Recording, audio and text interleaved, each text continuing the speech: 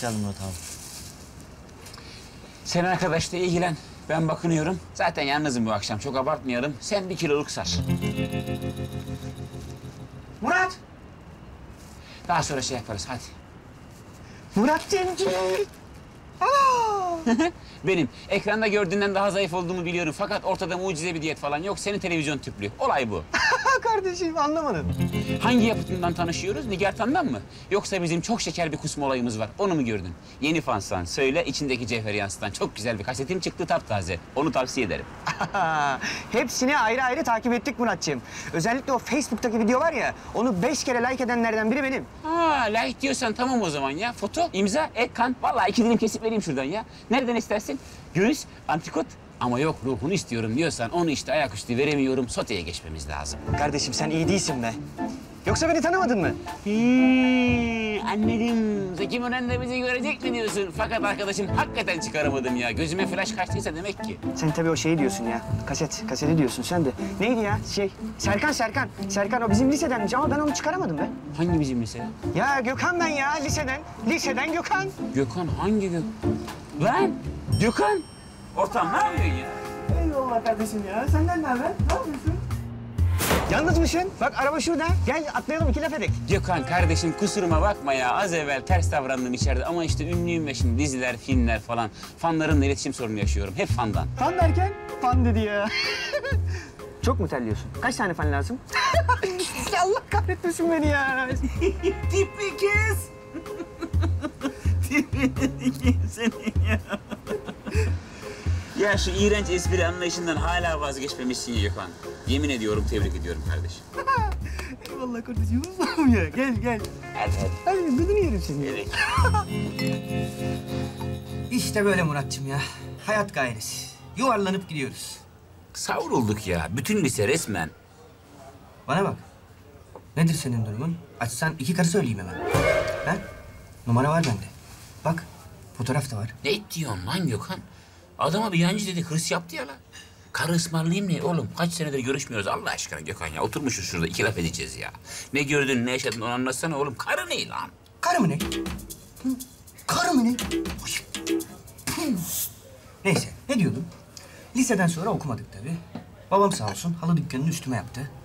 Bu arada işte mahallede bir iki dalgamız oldu tabii. Hovardılık peşinde falan filan derken bozdurduk yedik dükkanı. Sonra evlendim. İki de piç var ellerinden öper. Allah bağışlasın. İnşallah bakalım işte. Bu arada tabii mahallede birkaç olay oldu. Kavga, kıyamet falan derken babam iki tane taksi çekti altıma. Vasiyetnameden de çıkardı mı? Oh! Oh! Ben de sattım onları İstanbul'a geldim. Karıyı da boşadım. Ama şey yapıyorum arada görüşüyoruz yani vuruyorum.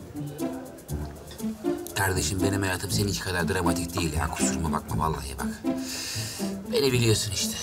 Resmi yeteneğim vardı, aktör oldum. Diziler, filmler, halk da sağ olsun sevdiler, kucakladılar, barlarına bastılar. Ben onlara fan diyorum. O dükkanda seni ters ettim. Tekrar özür diliyorum kardeşim senden kusuruma bakma. Yalnız çok kötü, çok zor bir hayatın olmuş ya. Bir şey değil mi? Arabayı iyi kurtarmışsın, bunu kaptırmamışsın. Yok be kardeşim ya. İstanbul'a geldikten sonra akıllandım. Herhalde. Lokanta işine girdim. Ama lokanta derken Avrupa mutfağı falan.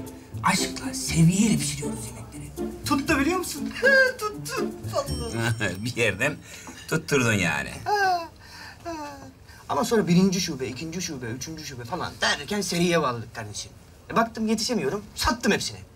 Doğru söyle lan. Yedin paralar değil mi? Yok. HES işine girdim. Bütün ülkede seri HES açıyorum. Esiktir. Yok. HES sektör. HES sektör. Allah'ın suyu. İyi de para kazandık biliyor musun? Baktım cepteki paralar da artıyor. Hava yolu kurdum. Özel. Deme. Dedim. Ama yurt içi falan çalışmıyoruz. Mars'a yolculuğun argesini yapıyoruz kardeşim.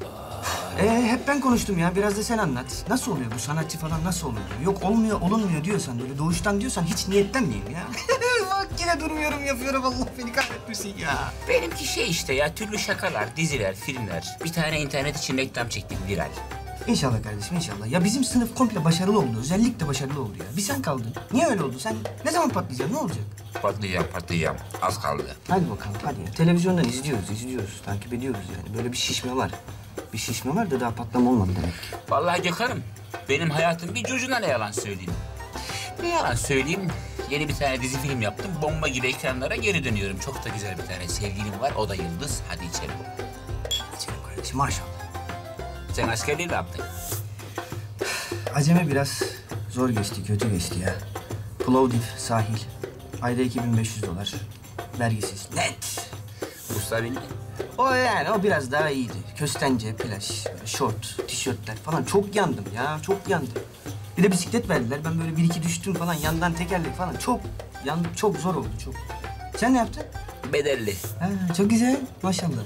İkinci taksiti daha ödeyemedik Gökhan. Hadi ya. Benim de şilep kaldı Ukrayna'da biliyor musun? Dördüncü taksidi ödemedik. Gecikti bak bir gün onu şey yapayım. İçelim.